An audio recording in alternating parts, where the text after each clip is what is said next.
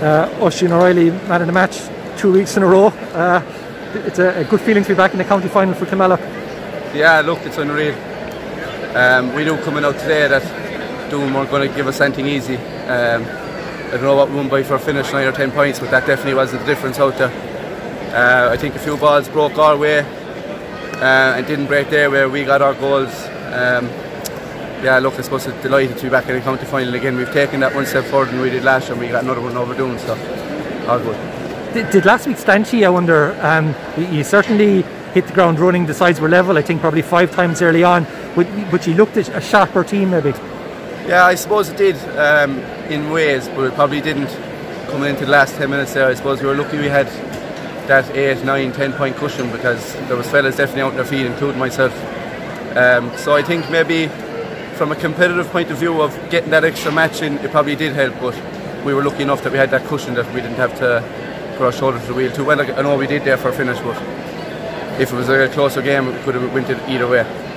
First county final appearance for Kilmallock since 2017. I, am sure you were anxious to, to get that one step further than recent years.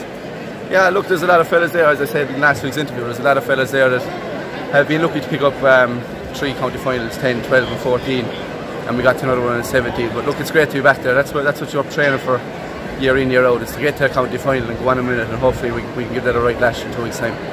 You, you probably started the year a bit sluggish, but game by game, you seem to be just reaching top form. Yeah, I suppose. Um, last in the open round, um, barely got over the line against Ballybrown. And if you look back at that, like we, we might even have been here today if we didn't grind out that result. So I think we're getting there game by game we're getting better and better and hopefully we're, we're coming to the right right time to be at the top of our game two weeks. You're obviously enjoying your own personal hurling at the moment as well. The scores are certainly flowing and you're you're finding yourself you know I think you created a couple of, of key scores as well today. Yeah look I suppose could be just that run of form I'm going well at the minute. Um, you could get, get a dip in form so you take these days and you get them and Tony's maybe changed a couple of things around in the team, positioning wise. Bringing you to centre forward would be one of those, and you seem to be revelling in that space.